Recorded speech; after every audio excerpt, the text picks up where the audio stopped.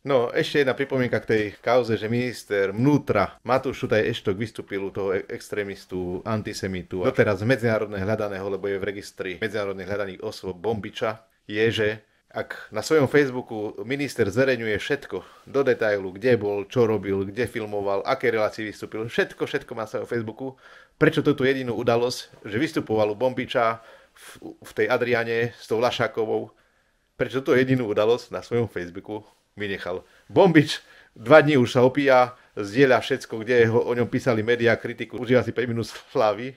Celá tá buzránska cháska mi môže lízať pety, to je všetko, čo za seba poviem. Matúš Šuta Eštok je u mňa od dneska absolútny bossman, chat G, bomberman, úplný šéf.